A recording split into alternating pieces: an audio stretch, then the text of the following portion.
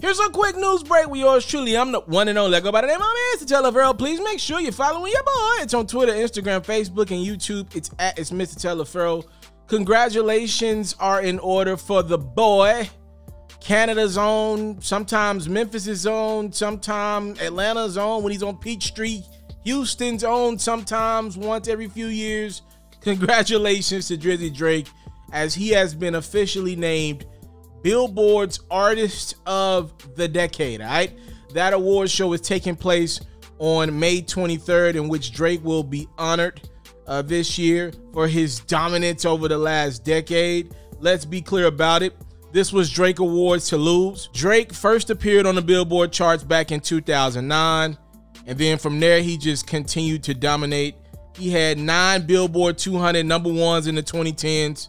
His first started with his debut studio album, Thank Me Later, and most recently being that 2019 care package that he dropped off for the people. He scored six hot num 100 number ones in that span.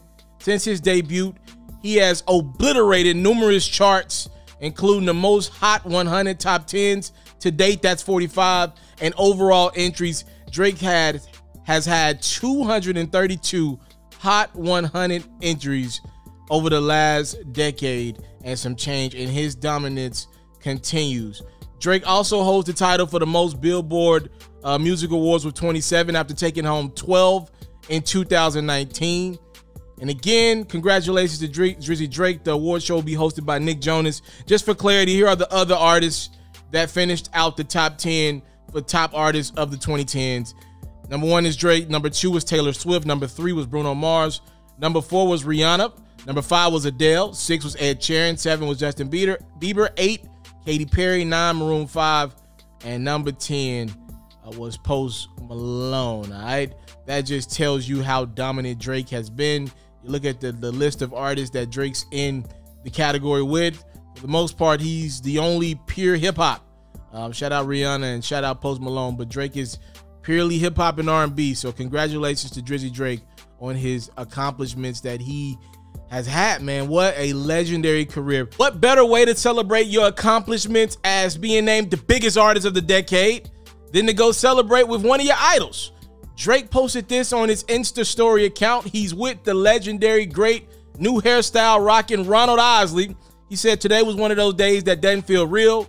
Waking up to artists of the decade and having dinner with my idol, Ronald Isley and listening to the stories behind every song that shaped my love for emotional music and created my formula for a lot of my writing. I'm high off life right now, my G's. You know, at one point in time, Drake said he was going to retire at the age of 35, but now he's close to the age of 35. And my question to you guys is would you call it quits? We know he's got a new album coming any day now, Certified Lover Boy.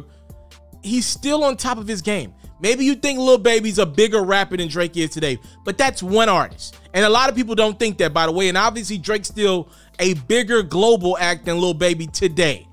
So, would you quit with all this dominance, still atop the rap game, with so many people who have fallen off that came by a hit record, and somehow, some way, Drake is still atop the charts? He seemingly still comes around when things are cool enough, when he's picking artists for his features, when he hopping on other dudes' records. It seems like he always just does it better than everybody else.